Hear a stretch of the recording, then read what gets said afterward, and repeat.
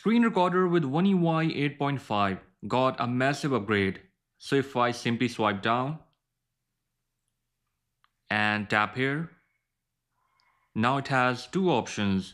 The first one is full screen and the second option says partial screen recording. While this option is not there with screen recorder on One UI 8.0. Okay, when I tap on partial screen and start recording, it shows a rectangle and now I can select the part of screen that I want to record. Also see this nice magnifying circle. It helps a lot.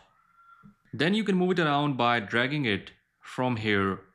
For example, I have selected this part. Now let's hit record.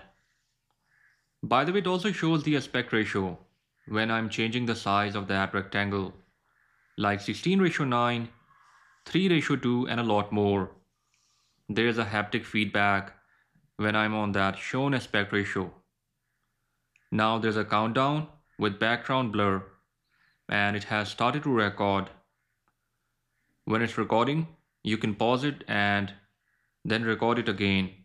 But this is also there with One UI 8.0 screen recorder. So screen recorder with One UI 8.5 is a lot handy. Now let's see the file that it has recorded. Here's the file size, resolution and frame rate which is above 60 fps to match with my screen. One UI 8 screen recorder has no blur with that countdown and you can only pick your desired aspect ratio after recording and editing the video later on in gallery. We don't have the ability to write or record video selfie when using partial screen recording. It is only there when I'm using full screen recorder option.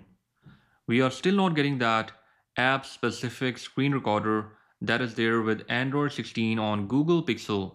But anyways, this new screen recorder is going to be a lot handy and I'm liking it a lot.